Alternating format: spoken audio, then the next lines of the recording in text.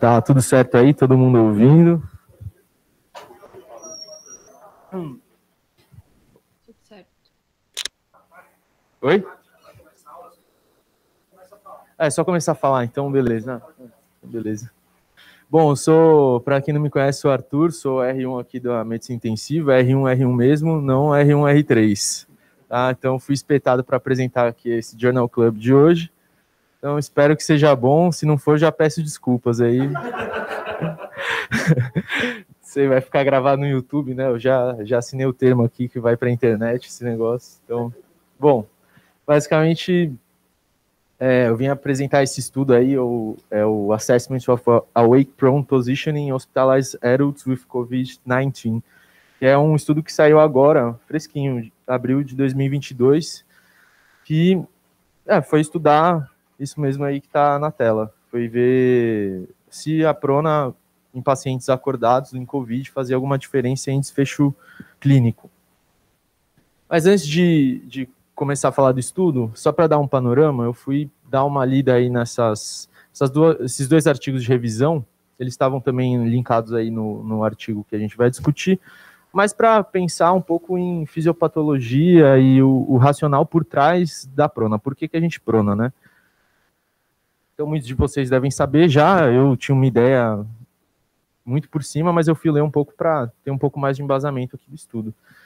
Aí, basicamente, tem essas duas imagens, é assim, a prona, dá para ver na primeira imagem aqui, ó, que é, quando você faz uma, uma você prona, né, a, a, o paciente, no caso aqui do lado é uma imagem de um cachorro, é, você acaba diminuindo a pressão que você tem, que a pressão abdominal, intraabdominal exercida pelo diafragma faz sobre os pulmões e também você tem uma alteração ali na pressão é, transmural, enfim, é, transpulmonar, que dá para ver aqui em cima fica menos 6, embaixo fica menos 1, aqui a, a, do abdômen, é, quando está virado para cima, 0 centímetros de água e para baixo é, 20 centímetros de água. Então, obviamente, tem uma mudança aí nas pressões exercidas na, sobre a caixa torácica.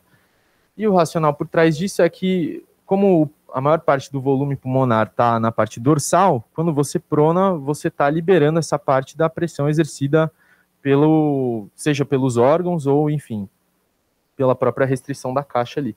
Aqui, essa imagem aqui do lado, é um, cachorro, um raio-x de um cachorro, que eles colocaram um prumo para você, para comparar aí o quanto consegue aerar de parênquima da parte dorsal, e pronado e, e em posição supina. Então aqui dá para ver bastante a diferença, visualmente, né? É, tem outra questão que, mais assim, de fisiologia, tem o Slink Effect, que é uma analogia do pulmão como uma mola é, no formato triangular. Quando você coloca o, o, o paciente, enfim, em prona, você está é, suspendendo o pulmão é, pela base dele, que você suspende para uma massa maior, e com isso a distribuição é, das forças ali da, da arquitetura pulmonar, elas permitem que você tenha uma aeração maior. Então dá para ver aqui a diferença entre uma é, posição supina, como você tem a relação aqui de, de aeração e, sei lá, maior colapso alveolar, e, e a posição prona você distribui melhor as forças, consegue aerar melhor o pulmão. É, em resumo, a posição prona ali, ela permite uma ventilação mais homogênea, é, por causa desse do slink effect, e, e você tem a, a, o próprio peso do coração também sai de cena, tem a questão do, da pressão intraabdominal que eu já toquei, e tem é, um negócio que eu ficava intrigado, que é, assim, tem pouco efeito sobre perfusão pulmonar. Eu pensava antes, falei, pô, mas você vira o paciente, você não tem a questão de, de a perfusão também ser dependente da gravidade, aí você vai, o sangue vai voltar para baixo também. Então, isso aqui tem pouco efeito sobre a perfusão pulmonar. É, assim, no, no artigo ele, ele cita, tipo, 1 a, a 25% da perfusão pulmonar, que depende da gravidade, o resto depende muito mais do, da característica da distribuição vascular ali do, do parênquima. Então, como você tem maior leito vascular na região dorsal, é, acaba que, independente, independentemente da posição que você assume, é, a maior parte do fluxo do débito cardíaco acaba indo para a região dorsal. É, eles citam até uma questão de, ah, será que com isso você tem maior capacitância e talvez a região dorsal ofereça menos resistência vascular do que a região ventral, enfim, uma coisa pouco menos importante. E daí, com isso, como a, ventila, né, consegue aerar o pulmão de uma maneira mais homogênea, a prona tem uma, consegue uma melhora na, na, reação, na relação VQ. Você consegue perfundir, é, ventilar melhor os, os alvéolos que estavam colapsados, e daí isso tem uma importância, assim, que ao longo da história foi estudada muito mais para a SAR, eu acho, e depois isso foi, acabou, acabou que foi extrapolando para outros, tipos de doenças, e aqui para o Covid, no nosso caso. É, eu achei nesse artigo também achei interessante que tem alguns outros possíveis benefícios relacionados a clearance de secreção, tanto de via aérea quanto de é, própria líquido intraalveolar, que talvez na posição prona isso seja melhor.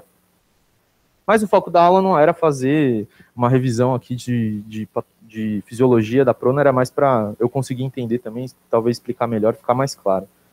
É, não vou fazer, falando de evidência, assim, não vou fazer um, um mega apanhado é, histórica, até porque esse artigo aqui acho que já foi, teve um pet acústica que o pessoal discutiu. É o Prozeva, é basicamente o último, último é, artigo que saiu assim que demonstrou com maior força é, o benefício de prona aqui em pacientes com, com ARDS, né? Foi um estudo grande, um, um ensaio clínico randomizado multicêntrico, daí ele teve uma redução em mortalidade em 28 dias, 90 dias no grupo intervenção, que era o grupo que se pronava mas aí você via que eram pacientes com, com SARA moderadamente grave e grave com uma relação PF menor que 150.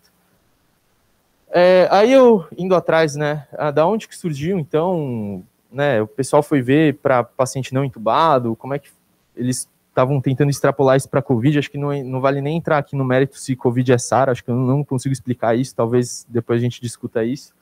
É, mas tem alguns outros estudos que só que, tipo, um pupurri, assim, do que ele, o, o autor, os autores colocaram de, de referência também, fazendo esse apanhado histórico, eles viram que as evidências para para prona, né, principalmente em pacientes não intubados também, em COVID-19 eram todos de estudos com que não tinham muito poder para dar evidência suficiente para a gente mudar nossa prática clínica, enfim, era tudo ou corte pequena ou relato de casos, como eram os outros estudos no começo da pandemia. É, aqui, esses dois da esquerda, é, uma era ali de cima do, do critical care, era uma corte pequena, teve uma diminuição da incidência de intubação, aqui embaixo, nesse estudo embaixo aqui, era pequeno também, eram 20 pacientes que foram elegíveis ali, teve uma melhora de PO, PaO2 durante a prona, que isso era uma coisa que já era sabido antigamente, você melhora a oxigenação quando você prona o paciente, só que ele não avaliou desfecho clínico e também tinha tem um outro detalhe que eu não, não coloquei aqui no highlight, que é, é uma coisa que também já se tinha observado em estudos anteriores, que você melhora a oxigenação do paciente quando você prona ele, quando você desprona, não mantém esse benefício.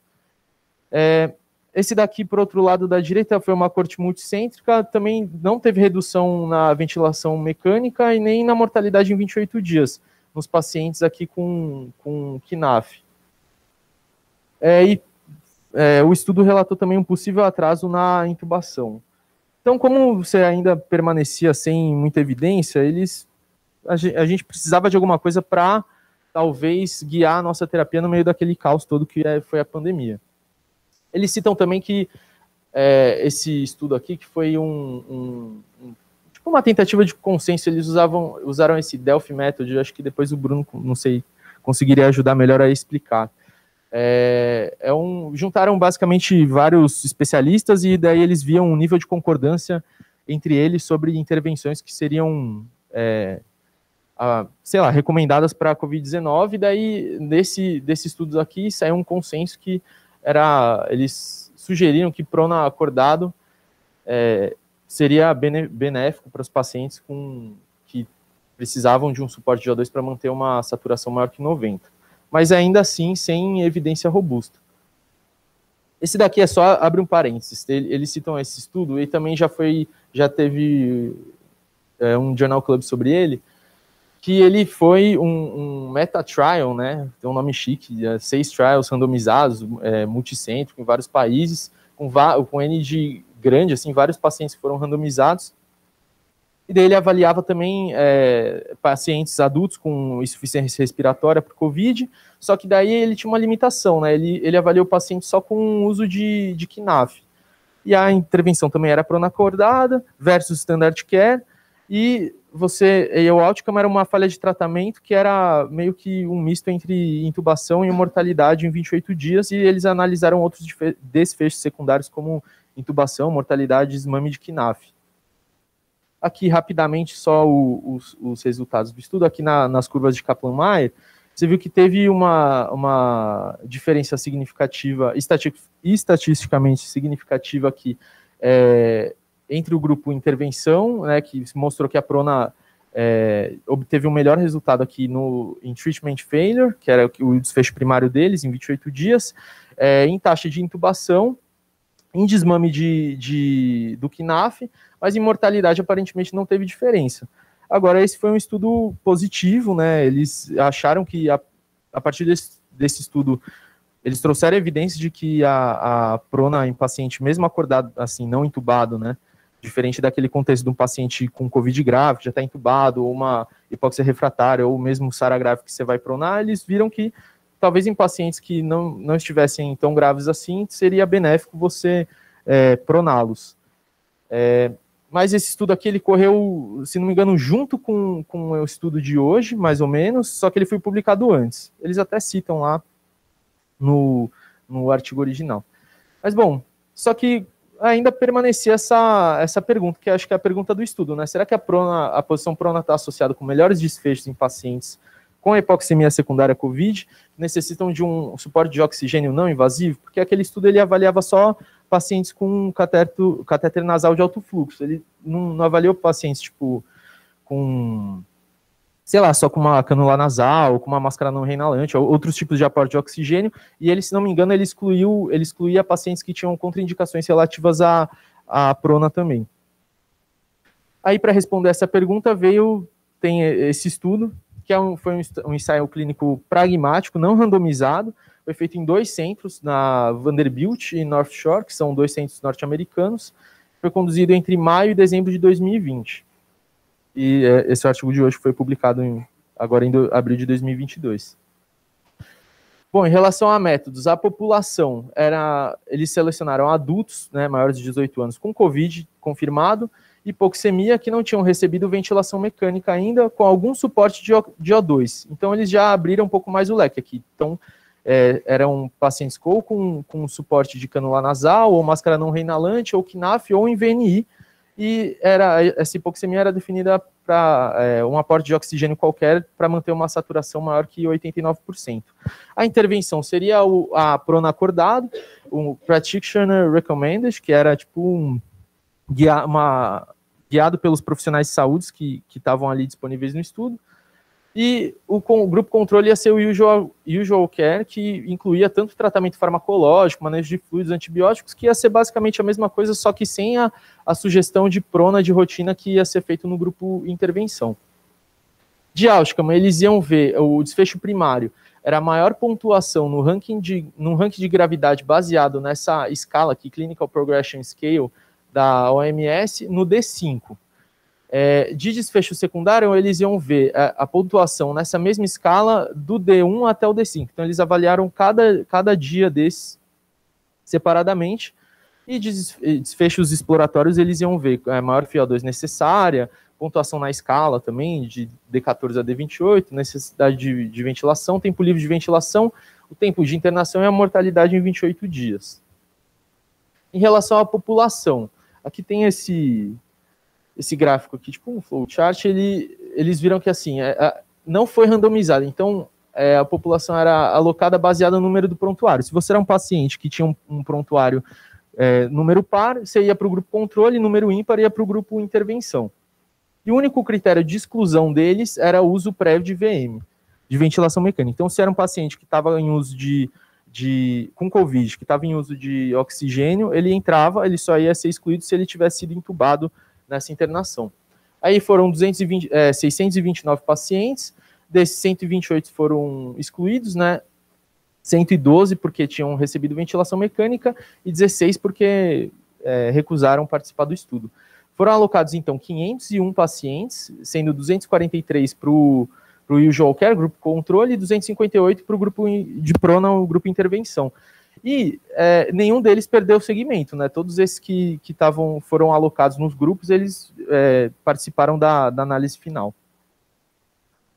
A intervenção era a prona por maior tempo, maior tempo possível, né? No protocolo do, do estudo, eles citam que o esperado era de, sei lá, cerca de quatro períodos por dia de três horas, que era o que eles iam tentar fazer.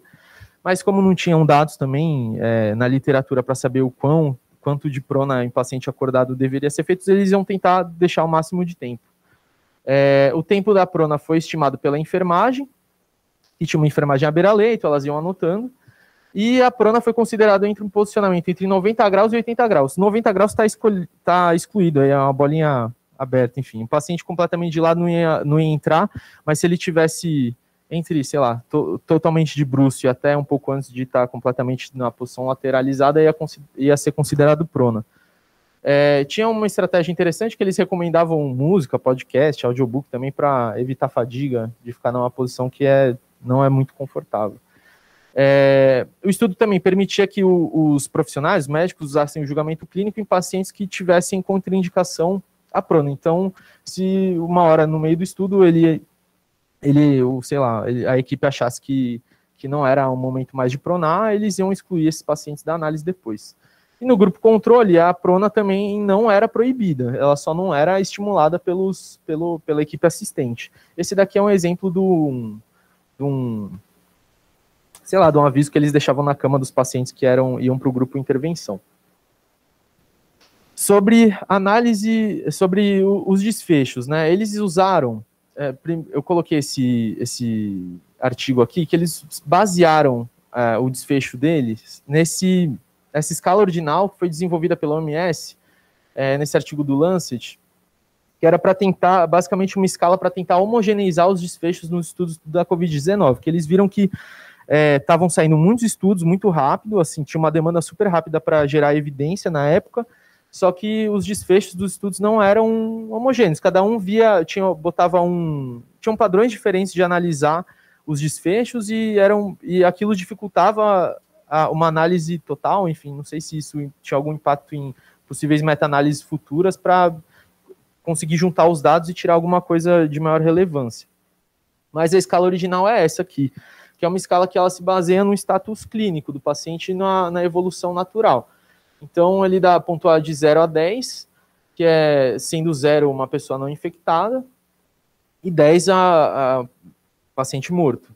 E daí tinha desde o nível ambulatorial até hospitalizado, com doença moderada até grave. O que eles fizeram foi, como o estudo já era em pacientes hospitalizados, eles cortaram essa parte aqui, ambulatorial, eles e eles colocaram também, eles descrevem no estudo que a escala foi ajustada para incluir a, a FiO2, que daí na, na máscara de, de oxigênio, enfim, e na canular nasal, eles calcularam, fizeram essa coxambração aqui, 21% mais três vezes o valor do fluxo. É, a máscara não reinalante era considerada a pior categoria dentre esses dispositivos aqui, antes de chegar no, no catéter nasal de alto fluxo. E daí vinha o catéter nasal, o VNI, que já ofereciam no prontuário a, a FiO2 ofertada. E daí foi uma escala que eles colocaram no zero a auto-hospitalar como o melhor desfecho dessa escala e a morte como o pior desfecho. Eu fiquei meio chateado que eles não, não construíram uma tabela para deixar um pouco mais claro, então eu fiz um negócio meio tosco aqui, só para a gente conseguir visualizar aqui a, a escala. Que, tipo, no zero seria auto-hospitalar, melhor desfecho que eles iam avaliar no D5, e daí, progressivamente, é, maior nível de suporte aí, ventilatório, enfim. Ah, agora o cálculo amostral, é a parte um pouco mais densa aqui. Eu vou pedir desculpa se eu falar uma besteira. Tentei entender, tentei ler bastante aqui, mas enfim. Eles no, no, protocolo eles queriam fazer inicialmente uma análise frequentista, mas eles optaram por fazer uma análise bayesiana depois. E eles é, estimaram que desses é, uma, que a distribuição né, dos outcomes lá na segundo a escala que eles iam usar ia ser nessa distribuição aqui. 1% ia ser um desfecho de morte, entubado 5%, CPAP ou BIPAP é, 14%, com algum nível de suplementação de, de oxigênio a ser 30, cerca de 30%, e pacientes é, hospitalizados sem, sem nenhum em ar ambiente 10%, e aqui é home, é, sem, com ou sem limitações, seria aqui uma adaptação da, da alta, né? E daí eles estimaram que iriam obter 10% a mais de altas no grupo intervenção, e com isso seriam necessários 175 pacientes para um grupo, é, por grupo para ter 85, é, desculpa, 80% de poder. É, o protocolo do estudo já previa um N de cerca de 500 pacientes. É, depois que eles incluíram, é, como eles não tinham data suficiente sobre a, a, essa escala antes, acho que para equilibrar a análise bayesiana, eles tiveram que fazer uma análise interina, e depois que eles é, incluíram 93 pacientes, eles viram, baseado na distribuição do desfecho desses pacientes, eles fizeram uma análise interina e determinaram que é, um estudo com 500 pacientes iriam dar um poder de maior que 80% e detectar um odds ratio de, de 1.6 é, com alfa aqui de é, bicaldado, né, de 0.05. Como que se, se dá a análise estatística dos desfechos? Né? Eles fizeram um modelo para o desfecho primário e secundário, era uma, um modelo de regressão ordinal, com odds ratios proporcionais, eles iam ajustar para cor variáveis. E, e, quais eram essas variáveis? Eram idade, sexo, IMC, raça, etnicidade, é, esse score de comorbidade Elix-Hauser, um aporte de, de O2 de base, né, para diferenciar o paciente que chegou mais ou menos grave, e o período de alocação entre maio e setembro e outubro e dezembro, que eles levaram em consideração que eram duas, duas ondas de Covid diferentes e possivelmente seriam pacientes com comportamentos diferentes, mas entre essas duas dois períodos de alocação, não teve mudança no protocolo de estudo. É, e a instituição também, entre a Vanderbilt e a North Shore. Desfechos exploratórios, os binários, eles iam é, usar o Logic Link Function, que é, acho que é uma regressão linear, é, uma regressão, um modelo de regressão logística, e para os desfechos ordinais discretos, eles iam usar também os odds proporcionais. Falando dos resultados agora. Aqui é a tabela 1, a distribuição dos, dos grupos. Eu não sei, pessoalmente olhando assim, não sei o que vocês acham, mas me pareceu bastante homogêneo, assim, tanto que eu nem botei nada em destaque, assim, talvez dessa parte aqui, é, se eu for ver, ó, em porcentagem, o nível, né, da baseline severity, é, baseado no, no quanto de oxigênio os pacientes estavam precisando, foi até que similar entre os dois grupos, é, é, sexo também, eu achei que ficou bem parecido, é, deixa eu ver aqui. Passa talvez um desbalanço aqui, maior proporção de, de, de brancos no grupo o interven, é, desculpa, no grupo controle, mas enfim, acho que nada é estatisticamente significante. É, talvez aqui no, no o grupo controle era um pouco menos obeso na média. Enfim. Agora, o que eu notei que tinha diferença aqui na tabela 1 entre os, o, a distribuição dos pacientes é que tinha é, eles viram esses algumas medidas né, laboratoriais, enfim, talvez para marcar a gravidade, que a média de creatinina, é, de leucócito, de plaqueta, LTST, no grupo o da esquerda é o, é o, grupo controle. No grupo controle, me pareceu que eles estavam um pouco pior, né? Mas não sei também, a gente vai discutir depois. E no tratamento tinha uma diferença aqui que no grupo controle é, os pacientes é, receberam menos corticoide e teve até, eles estavam na época usando Remdesivir ainda.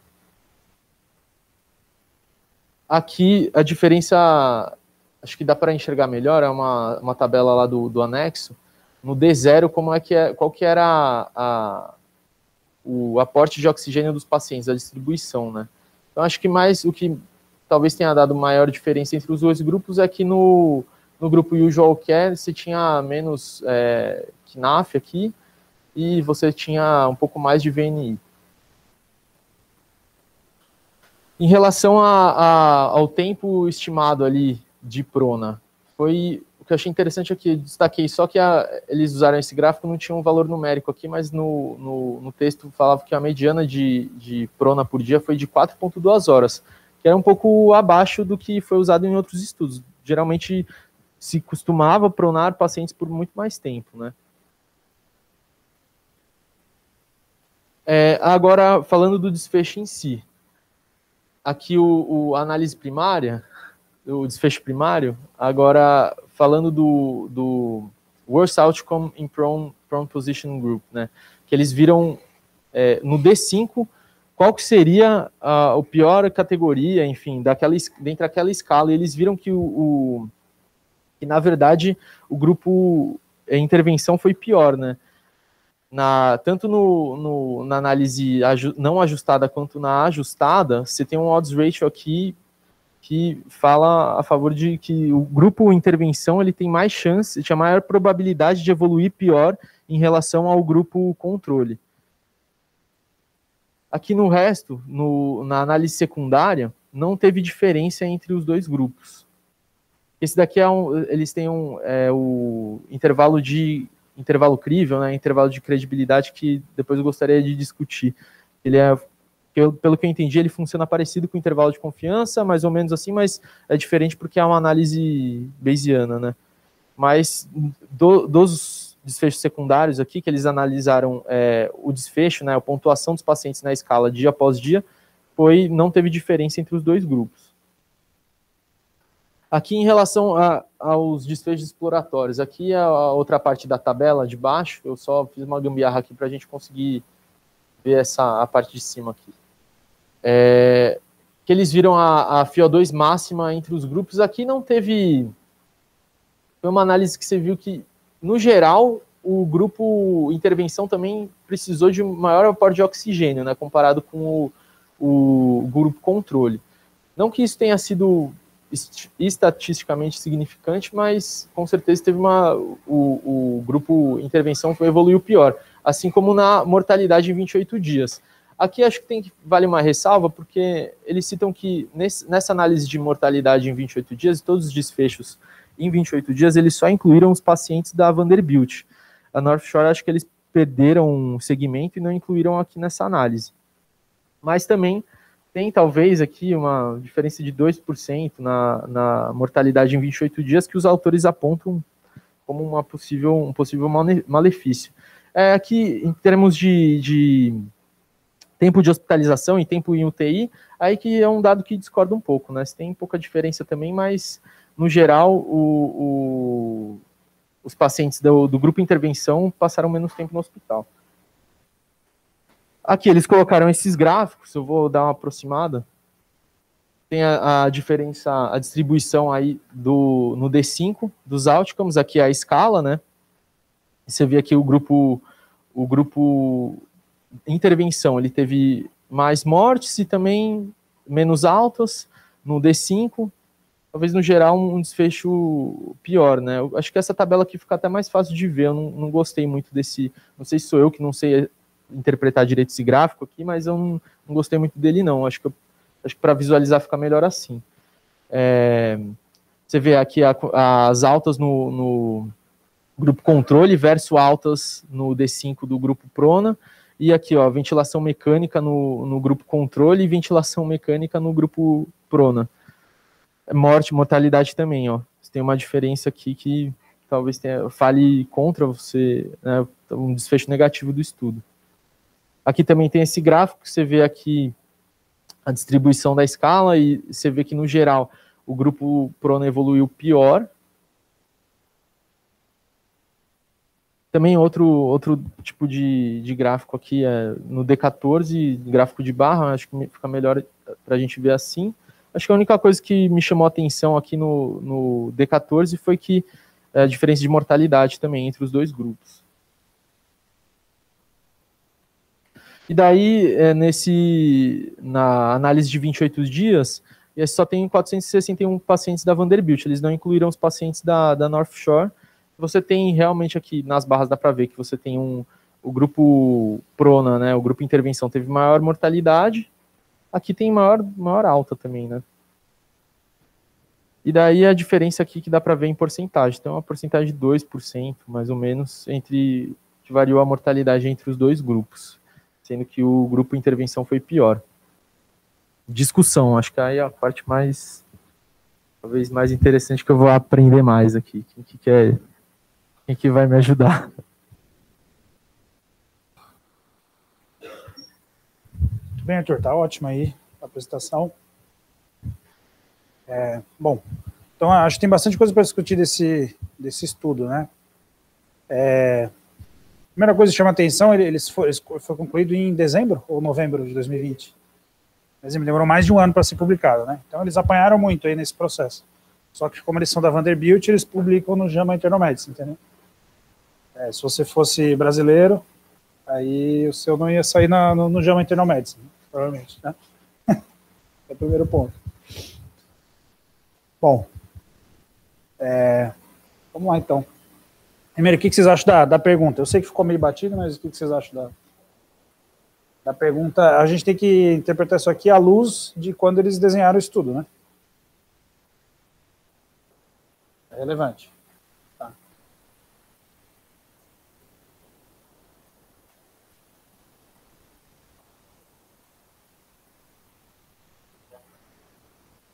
Faz sentido, né? É, perfeito. Então, acho que esse é o, é o primeiro ponto. Uma pergunta tem, tem, um, tem um objetivo né, de, de existir aí. É, e aí, bom, dado que a gente entende que essa pergunta é uma pergunta relevante, a gente vai agora olhar um pouquinho mais para dentro do estudo, né? Validade interna. Esse estudo saiu como não randomizado a contragosto dos autores. Na opinião deles, o estudo era randomizado.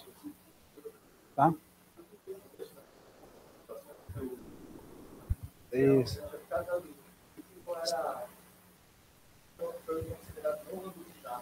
Por que, por que, é, porque se eles estavam aleatoriamente baseando no número só distribuindo, eles escrevem no, no artigo que é quase randomização. Assim, né? Isso, tá bom. É, o pessoal da Vanderbilt, eles têm um grupo que é grupo de trials pragmáticos, né? Então, qual, qual é o objetivo de um estudo pragmático em relação a um estudo de eficácia habitual?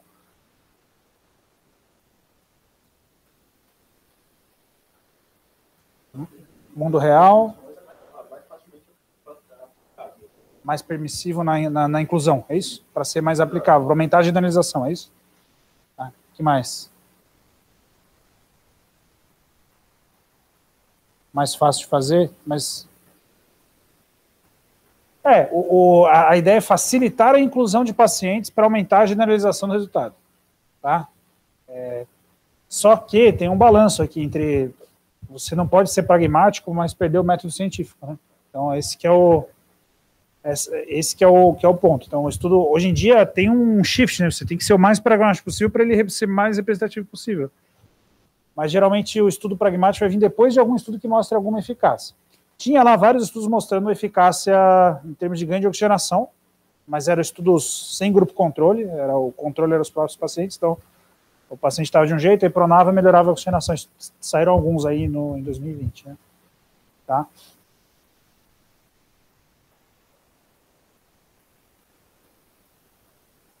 Tá, então, então vamos, vamos começar. Quais são os elementos que fazem um, um bom estudo clínico? Quais são os, os elementos aí? E que um bom estudo, um ensaio clínico randomizado. Quais são os elementos básicos de um ensaio clínico randomizado? Alocação aleatória, perfeito. Então, isso é o, é o primeiro ponto. Vamos, a gente já, já vamos entrar em detalhes de cada um e a gente tenta ver como foi feito aqui. Como? ser cego, perfeito. Então, alocação aleatória e ser cegado.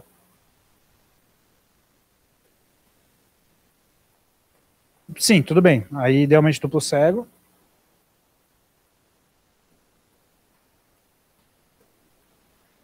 É, mas se for, se for randomizado, vai ser prospectivo. Vamos, vamos partir dessa premissa aí. Isso não é absolutamente necessário.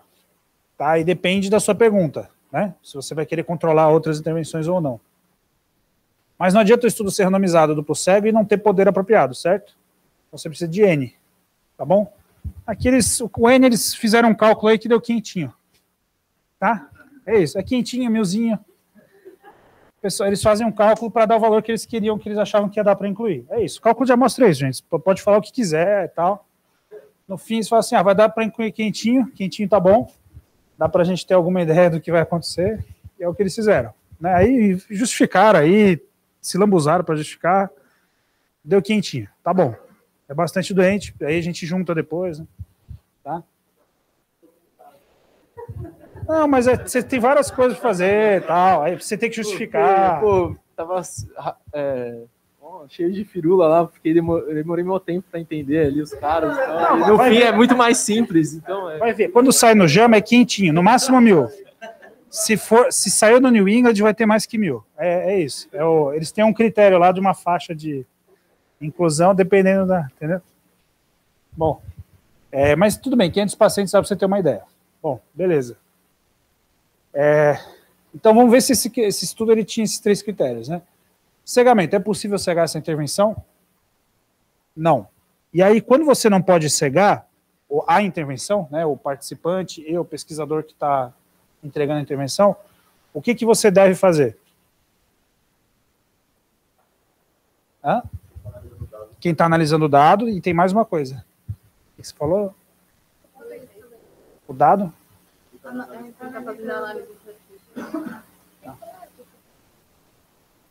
Isso, mas o coletador a gente chama do quê? É quem adjudica o evento. Tá? Então você, você pode. O, tem um negócio ali que você pode falar quadruple bind. Pode falar quádruplo cego, que é o pesquisador, o paciente, quem coleta o desfecho e quem analisa o estudo. Você pode cegar essas quatro pessoas. Tá? Bom, então. E a segunda questão do, do estudo, tudo bem, não dá para secar o participante, porque você vai falar, ó, fica virado de bruxo. Você vai falar, não, você não pode saber se você está de bruxo ou não, não dá, né? Tá? Mas isso é uma coisa super comum em terapia intensiva, não dá, qualquer estudo de prona, a gente não, não consegue cegar. Mas aí você tem que ficar muito atento, sim, às co-intervenções. O que mais que foi feito ou não para os pacientes nesse período que poderia ter, poderia influenciar o desfecho que você está querendo analisar. Tá bom? Então isso, isso é muito importante. A gente vai ver como se eles lidaram com isso. É, cegar quem coleta o desfecho, isso é possível? Depende, ó, vamos ver. Se for um estudo de pneumonia, você pode coletar se o paciente teve pneumonia ou não de diversas formas. Uma delas assim: pneumonia que a CCH falou que era pneumonia. É zero. Pneumo, é, hospital privado, não existe PAV, porque a CCH sempre fala que não existe PAV, tá? Porque existe uma cobrança, consciente ou inconscientemente isso é feito. É, o pesquisador, sei lá, quem está cuidando, não, teve PAV, eu tratei aqui, foi PAV, tá? É, algum desses dois serve? Não. Você precisa ter um adjudicador externo independente para dizer se aquilo era PAV ou não, porque aquela pessoa não teve, ela não tem nenhum conflito de interesse em relação ao resultado do que está acontecendo, tá? E ela não tem nenhuma outra informação. A CCH tem informações a mais, o quem está cuidando tem informações a mais, então dá totalmente divergente, tá? Mesmo com o adjudicador externo é complicado, né? Tá?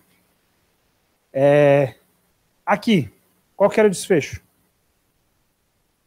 Hã?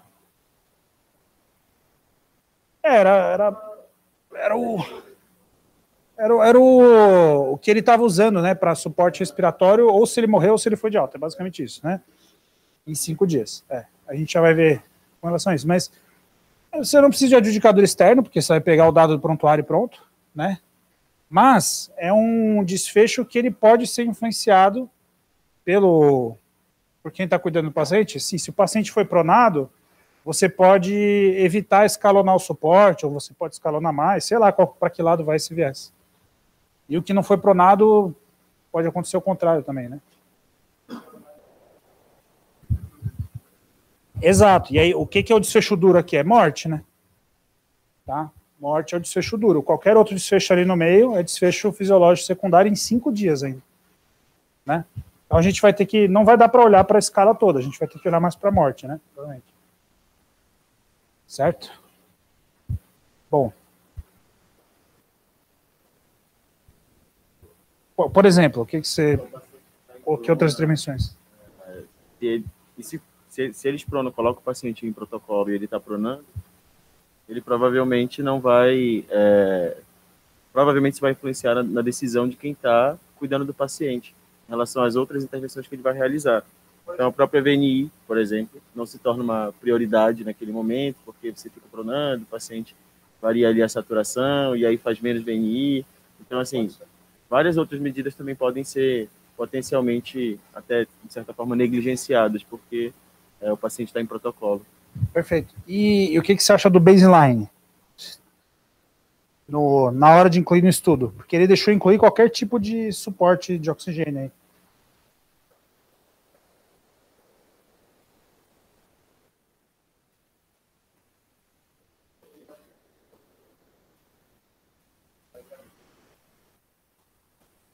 Onde é que. Você tem uma. Tem um que você separou mais aqui, não tem? Um pouquinho mais. Essa.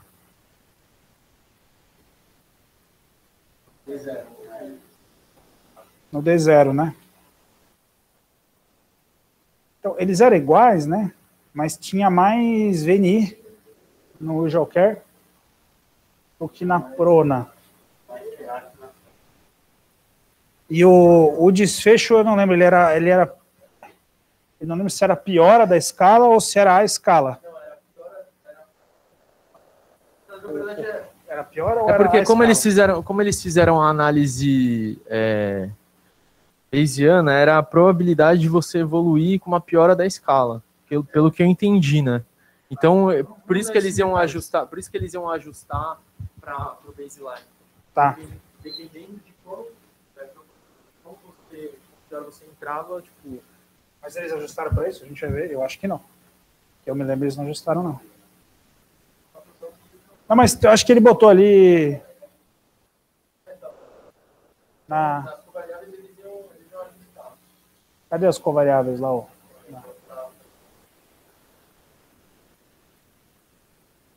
O...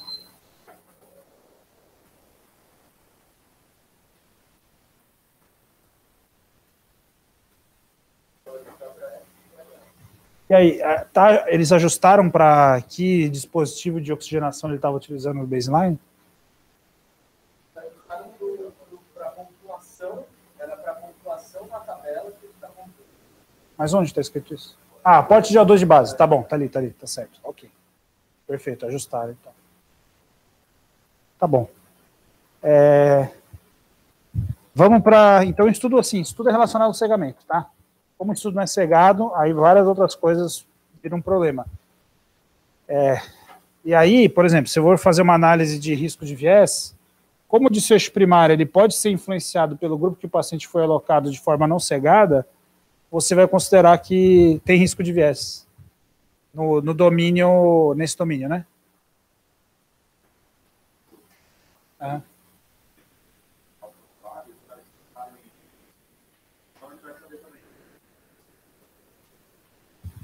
Isso. É, não, mas dá para cegar. Dá para cegar. É só você não mandar o número do prontuário para o adjudicador. Mas é que, que nem, assim, não tem muito o que adjudicar, né? Ou tá usando ou não tá usando, né? Não é uma coisa meio sub- mais subjetiva, né?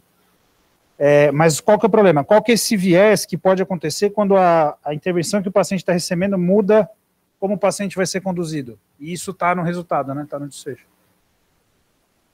Performance bias. Então, viés de performance. Então, esse estudo aqui, ele tem viés de performance. Não, não tem como você dizer que não tem. Né? É muito difícil você ir contra isso. Né? Bom, vamos para a randomização. É, qual que é o objetivo da randomização? Quais são os objetivos? Vamos lá, são dois grandes objetivos. Hã? Você quer dizer com minimizar a seleção? Por algum motivo você ter preferência de alocar um determinado paciente em algum grupo. Teve algum indício disso ou não? Não teve indício. E aí, o que, que daria indício disso? Seria um indício, mas tem um outro indício, que seria, por exemplo, ter muito paciente que foi excluído sem motivo, assim. É, porque, no fim, você sabe, né? É, foram quantos excluídos mesmo? Mas a maioria era porque estava entubado, né?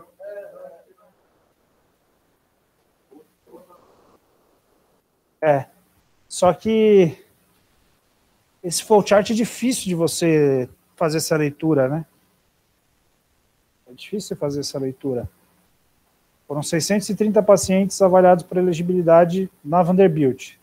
Só teve 630 Covid lá nesse período? Eu não lembro quantos que a gente teve aqui, é, mas lá é um centro grande também, né? Então não sei se teria algum potencial, porque como o estudo, é, essa forma de randomização, ela não garante sigilo de alocação, que é um dos objetivos de você fazer uma randomização adequada, pode ser que alguém fale assim, puta, esse eu não vou não vou incluir. É, eles foram bem explícitos no estudo dizendo assim, olha, todos os pacientes eles foram incluídos, né? Eles diziam isso, todos os elegíveis foram incluídos. Mas não dá para acreditar no que eles falam. tem que, você tem que mostrar alguma evidência objetiva, mais objetiva disso. Né? Tá? Então, na, na, em teoria, o sigilo de alocação não é garantido. Tá? E não sendo garantido, você pode deixar de incluir ou excluir pacientes baseado na opinião do, do, do médico que está fazendo o paciente. Né? Tá? É, o outro motivo qual é de você randomizar? Que é o, na verdade, o motivo principal, o sigilo de alocação tem que vir junto para você evitar excluir. Para que, que você randomiza? Em que sentido? Equilibrar em que. Perfeito. Então, você falou aí vários fatores prognósticos. E aí, qual, por que, que eu não faço, então, se, se tem esses fatores aí conhecidos, por que, que você só não faz uma análise ajustada e está tudo bem?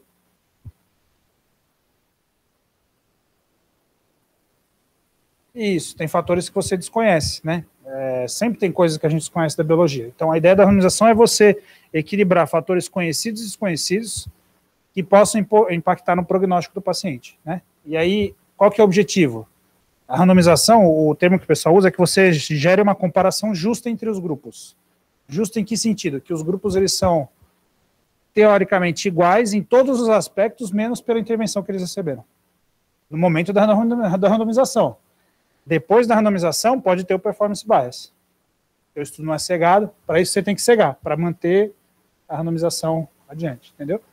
Nesse caso, o estudo não pode ser cegado, então você tem que utilizar desfechos menos sujeitos a isso, né? E às vezes você tem que fazer um protocolo que assegure um pouco mais as, as intervenções, tá? É, essa estratégia de anonimização, ela até pode ser considerada válida mesmo, né? Em termos de balancear os grupos, que é totalmente aleatório. Seria semelhante a uma randomização simples. Como é um centro só, você poderia fazer uma randomização simples. Tá?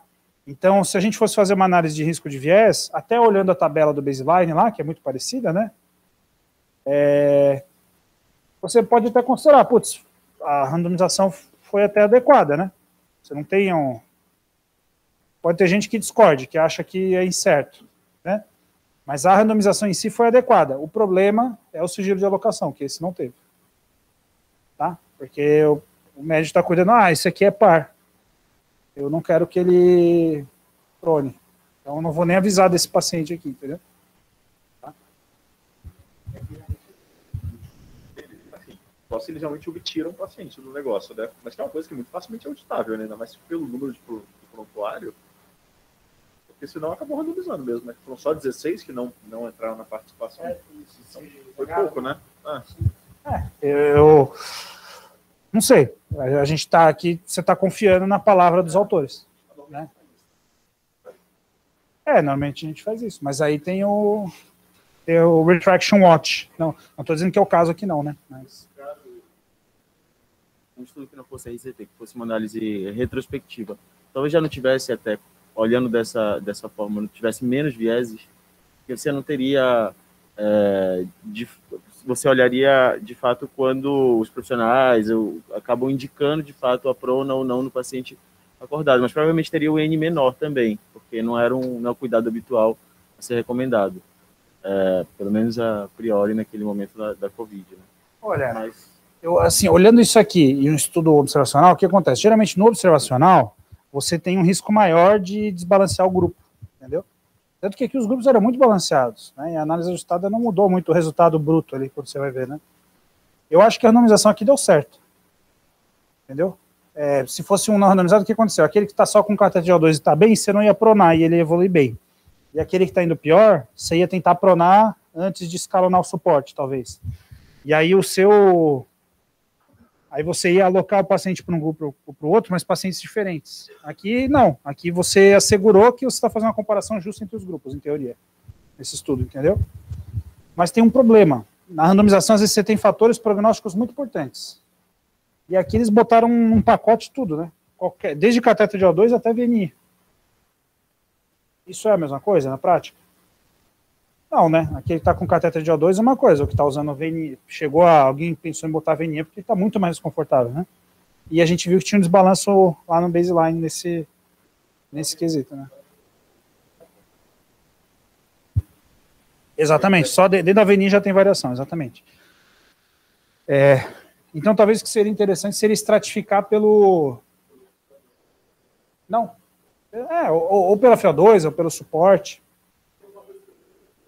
Para você garantir um melhor balanceamento dessa, dessa extra, desse, problema no baseline. Uma coisa que eu fiquei com dúvida além do artigo é que eles, eles escreveram que eles iam é, modificar a escala, e ia ser essa escala tipo, ordinal de, de 1 a 8 lá, mas eles iam, na análise, adicionar a FIO2 que eles estavam usando, para, sei lá, falavam já adicionar a granularidade no estudo, só que eu não vi nada tabela, nem, nada, nem descrevendo o método como isso se encaixou, como uma escala ordinal vai virar, como você vai colocar a FIO2 ali, como Não, é que você foi para aquela análise exploratória lá da FO2, aquela que eles apresentaram lá. A FO2 do D1 ao D5 lá.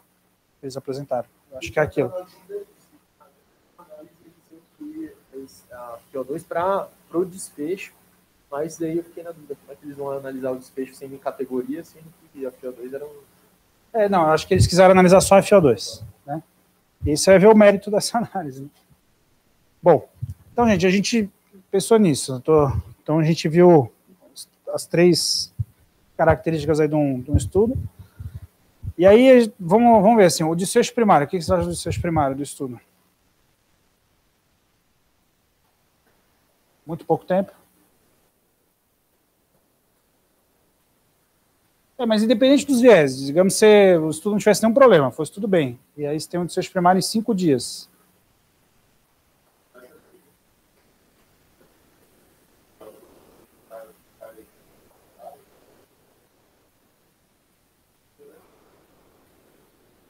É, é eles.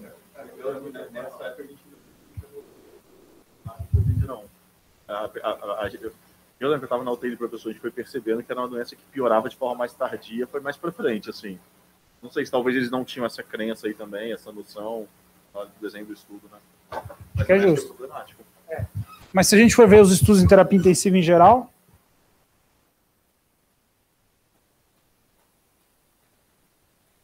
É, pelo menos 28 dias, né?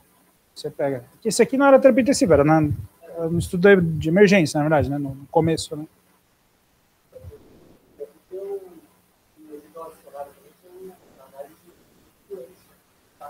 O, tempo de doença do doente, né? Então você não sabia Ah. se era uma evolução mais tardia, se era, sei lá, um paciente que já estava numa evolução mais tardia, mas não evoluiu mal e estava precisando de menos oxigênio, ou se era um paciente que estava no, no começo do quadro e ia, sei lá, evoluir. mas pelo que eu entendi, era assim: pingou lá na Vanderbilt e no dia seguinte ele estava no grupo, não era isso? Ele Entrou, entrou lá, estava com Covid, com algum aporte de oxigênio, eles iam ser alocados. Tá. Aham. Bom.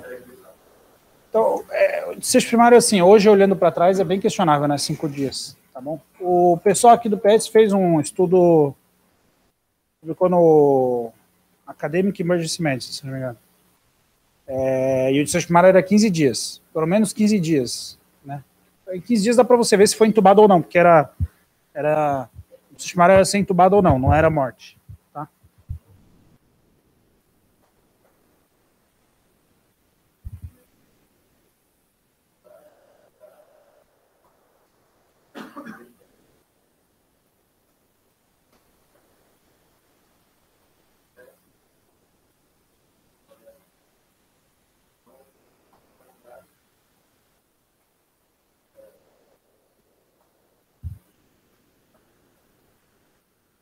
Sim, pensando na, na intervenção específica. É, é que cinco dias é muito pouco tempo. Eu acho que é difícil, difícil. E ainda mais se não ser diga. Né? Porque o H1N1, a gente tinha essa coisa, né? Que o H1N1 piora do terceiro ao quinto dia, se você vai entubar, você vai entubar no quinto dia. assim. Eu Isso. lembro que o primeiro mês era isso, assim, o paciente tá no quinto dia, ele vai piorar. Demorou pra perceber que ó, era outra história natural. É, mas aí podia só olhar para intubação, né? Você concorda? Aí não precisava olhar para tudo, né? É. É. É. Bom, é, assim, esse desfecho é um desfecho complicado, acho que começa por aí. Aí qual que é o problema? Isso aqui é para vocês verem que não importa se é Bayesiano ou frequentista, você interpreta o estudo errado se o, o desfecho não é bom. Entendeu? Aí saiu que prona faz mal, prona acordado. Não dá para você afirmar isso com esse estudo. Quando você vai ver o, o desfecho de morte em 28 dias, ele é igual entre os grupos. Cadê? Ó, é 23% e 21%, é quase igual, né? Eles não nem apresentam o, a probabilidade de superioridade de um de outro, porque era um desfecho secundário, né? Mas aí é praticamente a mesma coisa, né? Entendeu? E você vê aqui que também não, não muda, né? Ó. Interessante, né? Na análise ajustada, ele fala mais a favor do grupo. É, quando ajustas, veja que o odds ratio ele aumenta, né? De pior desfecho. Provavelmente porque tinha mais paciente na VNI. E como o desfecho era. É, era subir na escala, ele não tinha como subir na escala.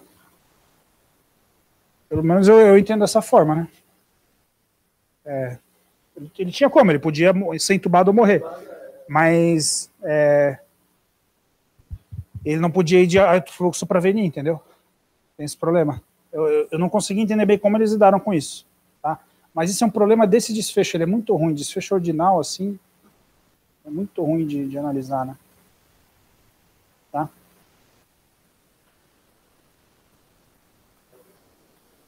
Boa. Vamos, vamos, vai naquele gráfico lá da intervenção, tem duas coisas para a gente ver ali. O, o, o Oxplot. Isso, vamos lá. Aqui só, só vamos relembrar. O que, que é o tracejadinho do meio aqui? Mediana, certo? O que, que é isso aqui?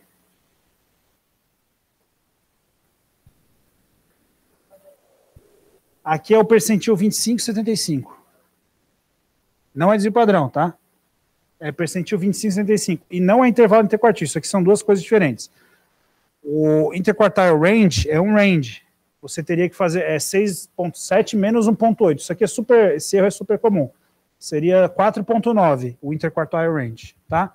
É quanto varia ao redor da mediana, tá? No, do P25 ao 75. Mas o, o P25 é 1.8 ou seja, 25% dos pacientes pronaram só uma, uma hora 1,8, e 75% dos pacientes pronaram por seis, mais 6 horas aqui, vamos dizer assim.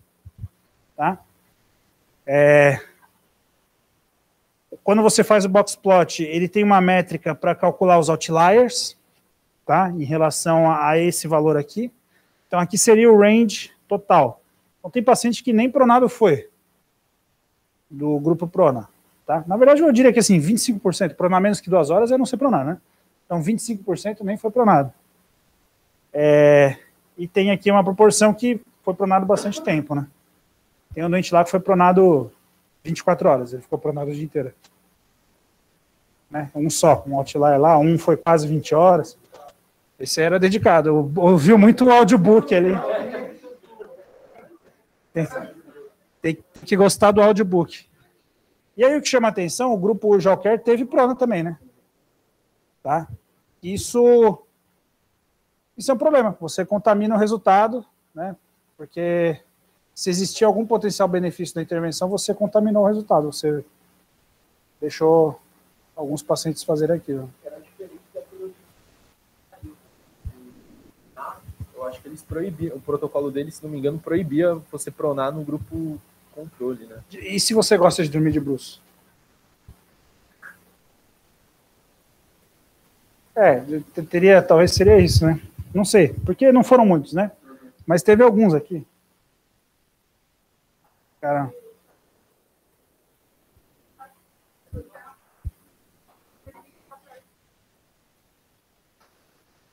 Ah. É, mas sim, o mais importante daqui é é você ver se teve separação fisiológica. Vocês diriam que separou os grupos? O grupo prona ficou pronado uma parte do tempo e o outro grupo quase ninguém pronou. Até dá para dizer isso. Aí tem a questão da dose. Será que a dose de prona foi adequada no grupo foi pronado? É, que o processo do paciente está sedado tal, podia ficar. Isso. Talvez não seja suficiente, perfeito. Tá? É, pode ser essa conclusão.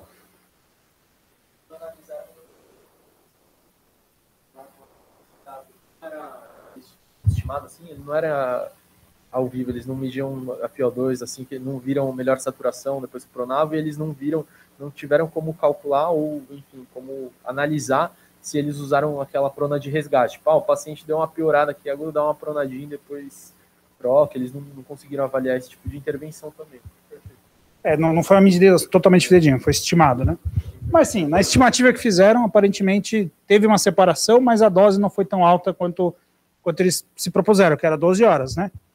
A gente esperaria que a mediana chegasse pra, próximo de 12, pelo menos, né? né?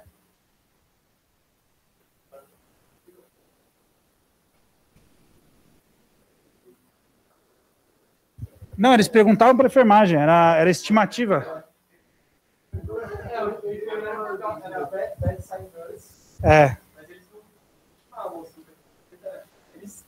Tá incluído, não está incluído na análise desse estudo é que eles comentam que em alguns poucos pacientes eles usaram tipo sensor para estimar com maior precisão. Só que isso não entrou na análise do, do estudo, entendeu? E daí acho que eles vão tentar fazer um, um usar esse dado para tentar gerar alguma outra coisa, entendeu? Mas isso não, não, foi, não entrou na, nessa análise. Bom. Quer continuar nisso? Vai... Não, não. É, em relação às outras intervenções, eu não vi, assim, pelo menos no estudo ele colocou algum critério para ele mudar, assim, para ah, um critério para o fluxo, critério para DNI, critério para intubação, porque naquele metatrial até uma das coisas que a gente mais discutiu foi critério de intubação, né? Que já fazia parte do desfecho e tinha um, um critério, né? Claro que era até aceitável. Acho que nesse então não, ele não colocou critérios para isso. Por ser totalmente pragmático. É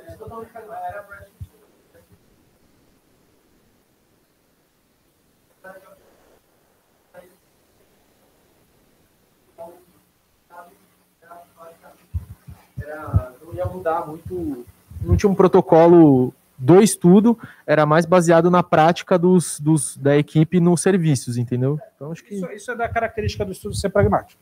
Ficava a cargo da, da equipe mesmo, sem uma, sem uma recomendação geral. Exato, é esquisito como não seja. É. Né? Tá bom. É. E aí, no, em termos de intubação, eu não cheguei a ver.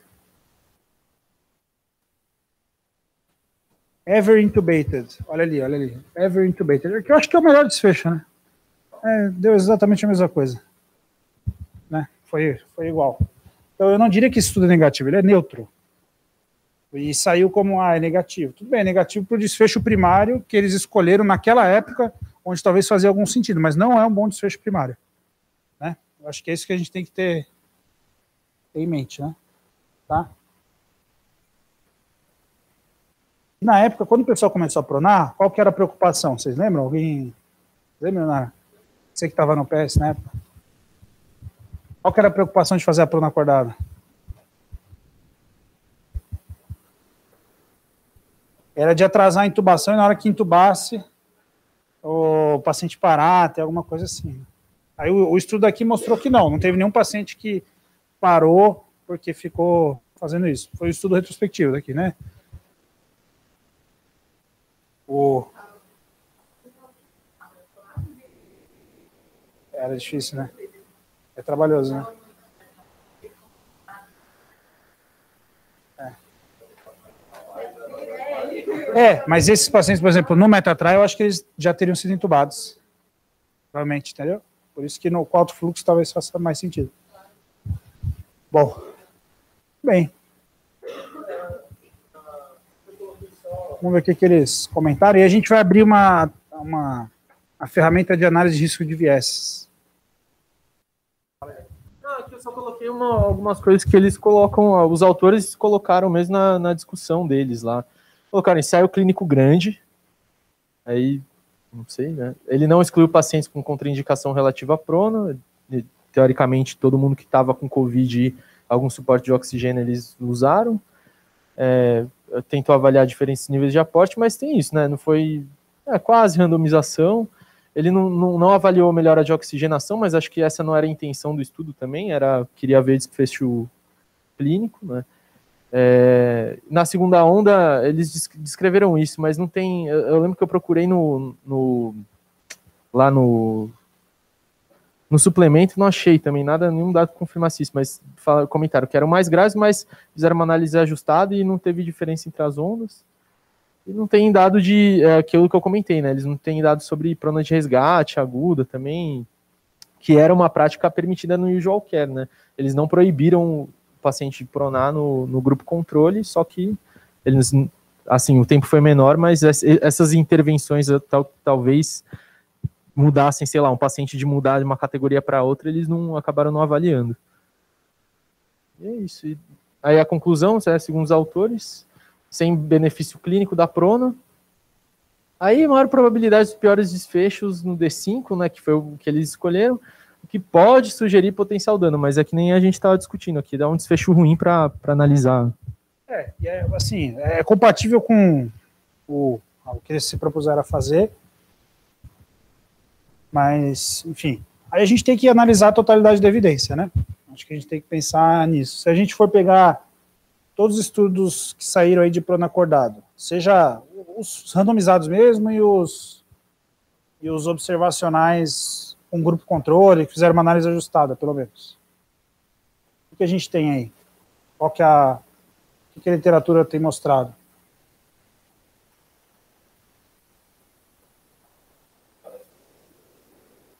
É, tem, tem uma meta-análise já publicada disso, não, mas não incluiu os últimos estudos. Tem, saiu, tem o do JAMA agora, saiu o outro, do, dos canadenses agora, eu, eu nem lembro o que, que deu resultado. É, tem um do BMJ, que é canadense mais Arábia Saudita, que foi neutro. Só que esse do BMJ, eles incluíam os pacientes muito leves, e a dose foi baixa, os pacientes não fizeram a prona, e muito pouca gente morreu. Era um grupo de pacientes muito leve, assim, que não, precisava pronar, basicamente. Porque deu, a mortalidade foi baixa, não, não mudou nada na vida deles mesmo, né? Tá? E aí, quando a gente usa, junta os que já tinham com esses três novos, aí esse aqui, em termos de intubação, foi neutro, né? Vamos pensar assim. E mortalidade, ele tendeu a neutralidade, que todos os outros foram neutros em mortalidade, né? É, então, acho que eu- se a gente juntar todos eles, tirando esse, esse do BMJ aí, que os doentes não eram graves o suficiente, esse ali eu acho que não dá para incluir. E esse aqui, você não incluiria numa meta-análise. Porque, isso se fosse só dos randomizados, porque é um estudo que não é de baixo risco de viés. Ele é um estudo de com risco de viés. Tá?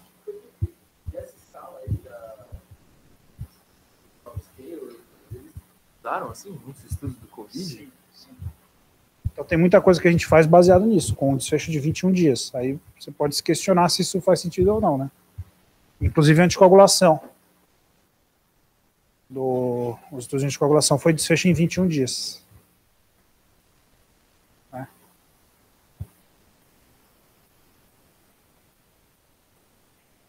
Bom, moral da história. Isso aqui é uma coisa em aberto, veio, é uma estratégia que talvez evite intubação, mas não faz nenhum milagre. Eu acho que esse que é o, é o resultado final. E esse estudo aqui, eu não sei o quanto que ele vai contribuir para a evidência no assunto, pelo, por todos os, esses questionamentos aí né, envolvidos. Entendeu? Mas a gente tem que olhar aquele desfecho lá de 28 dias, que é o, acho que é o melhor desfecho que tem desse estudo, né? Certo? E querendo ou não, a randomização era estratificada pelo centro, né? Porque era para o ímpar naquele centro.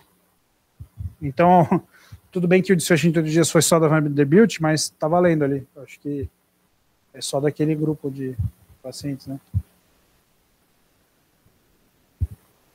É, vocês querem revisar alguma coisa da estatística aí do estudo? Da regressão, essas coisas aí?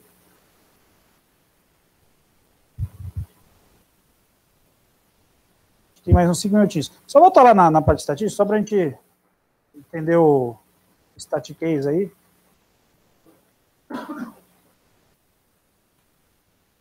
É, então, isso aqui é tudo regressão logística. Tá? Quando o desfecho é binário, a regressão logística, ela, a gente não consegue modelar a probabilidade, porque a probabilidade vai, é uma escala que vai de 0 a 100%. Então, a, a regressão logística, ela, você modela uma, uma função dessa probabilidade, tá? E ela tem íntima relação, tá? Então, qualquer desfecho binário, ou ele acontece ou não acontece. Então as probabilidades são complementares, certo? É, e a regressão logística ela estima isso, basicamente. Então, para desfecho binário, a gente sempre usa a regressão logística e aí ela permite você ajustar para o que você quiser aí, no baseline, tá? O que acontece depois não dá para ajustar. É, e aí tem um outro modelo, a regressão, de regressão logística ordinal, que ela modela a probabilidade de o paciente pular de, de lugar na escala.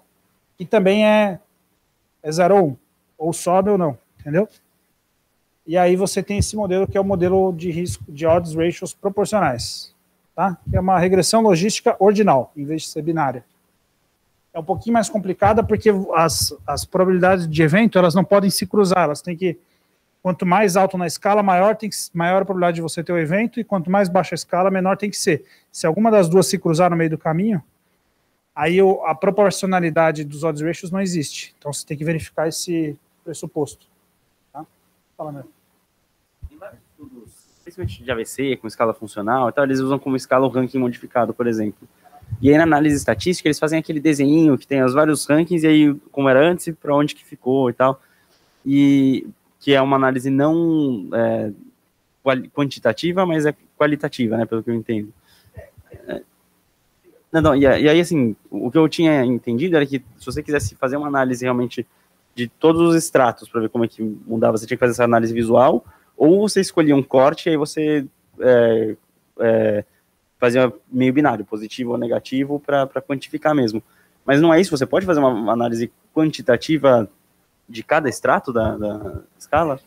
Não é, de, não é de cada extrato. Aí você, essa análise ela é, ela é mais sensível para você detectar diferenças, porque é, se você corta, por exemplo, o paciente, vamos, vamos dizer aqui, o ventilado para frente versus o não ventilado, você faz um corte. Você pede a informação do cara que foi do alto fluxo para venir, certo? É, a questão toda aqui é se isso é relevante ou não, né?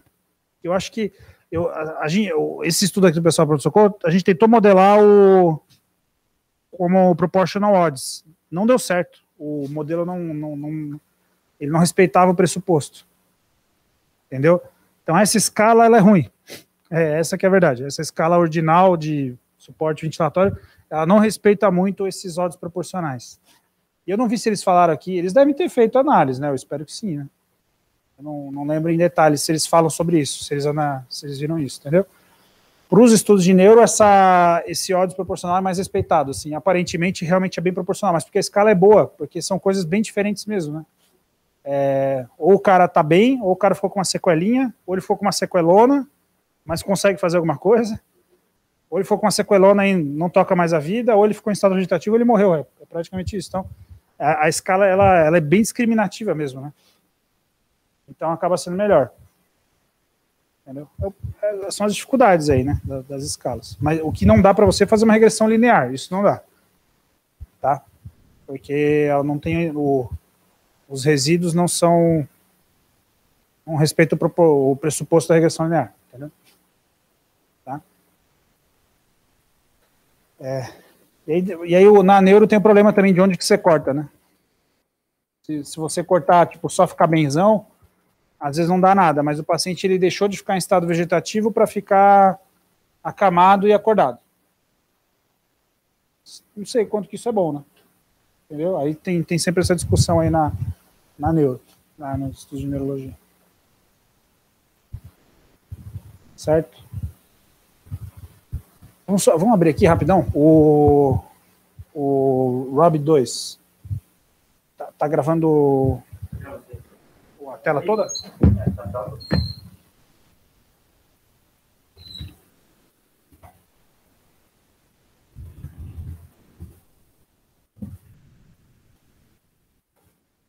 que é, tem o.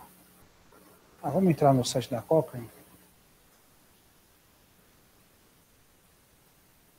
que deve ter o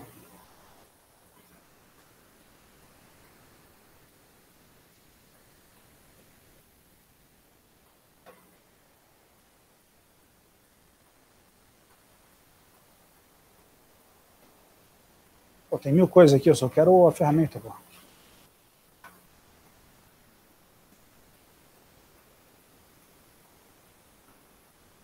Starter Pack. Isso aqui dá certo.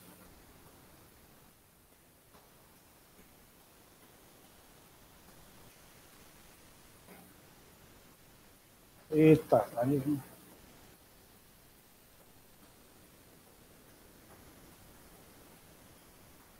É, é não, é que eu, eu queria só a ferramenta. É, Vou pegar uma. Será que está aqui? Ó? Eu acho que é nesse site aqui. É da Bristol.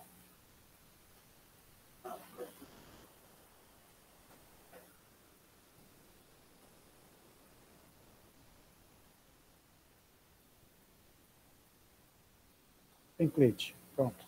Conseguimos. Seria uma hora a gente faz a análise. Aqui ele tem várias formas e, e ele bota.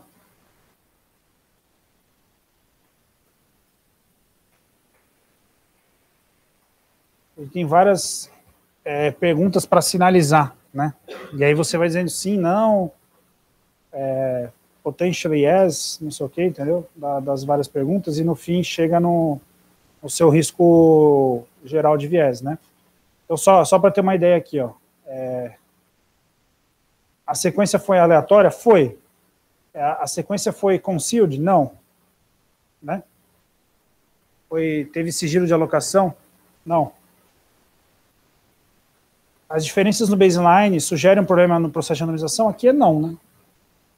Aqui é não. Aqui é, tinha creatinina, a única coisa... TGO, TGP, isso é, mas isso tem alguns estudos mostrando que tinha pior desfecho mesmo, mas, mas a creatina era 1.2 e 1.5, né? Então tinha mais disfunção renal. E aí eu botaria aqui pelo menos some, some concerns, né? né? Você não botaria, ah, tô tranquilo. É, desvios das intervenções. Pacientes sabiam que grupo estavam? Sabiam, tá? Mas isso é, uma, é, é inerente à intervenção. Aqui também sabiam. Teve desvios devido ao contexto do trial, hum, aquele aqui não é nem sim nem não, é um parcialmente, né? Vai num, não vai, é difícil saber, né? Esses desvios podem ter afetado o resultado? Potentially yes, é o que eu responderia aqui, né? E, e assim por diante. Aí você vai fazendo toda a análise de viés e no você chega ao risco de viés. Se, se um domínio for alto risco de viés, eu estou de alto risco de viés. Se dois domínios for moderado, é alto risco também, se eu não me engano. Aí depende do, tem como fazer o cálculo aí da, do risco de viés, depois de aplicar. Então, quando vocês viram uma resolução sistemática que tem lá aquelas bolinhas lá, verde, amarelo e vermelho, é isso aí. Ele faz o cálculo todo baseado nessa ferramenta. Né? Quer ver? Vamos ver só do desfecho aqui o que, que ele fala. Foi feito com um plano de análise, sim. É... Medida do desfecho. Se o método foi inadequado, não foi, né? Se a adjudicação do desfecho poderia ser diferente entre os grupos, não, porque é uma coisa, mas eles podem ter sido influenciados pela, pela estrategização, né? Aqui, ó. O... Será que a avaliação do desfecho poderia ser influenciada pelo conhecimento da intervenção recebida? Sim, né? Tá? Então, aqui ia vir como high, provavelmente. Tá? E dado faltante não teve, né? Teve só no 28 dias que não era o seu primário. Entendeu? Então é isso. Aí essa é a ferramenta de avaliar risco de viés. Traz randomizados. Você poderia usar de não randomizados. A ferramenta de não randomizados hoje, ela, ela, ela, ela meio que se baseou em como seria um trial se o trial tivesse sido feito. Mas aqui eu aplicaria a ferramenta de trial, eu não aplicaria de randomizados, não. Tá? Muito bem, pessoal. Devido ao avançar da hora, vamos virar o almoço. Parabéns aí.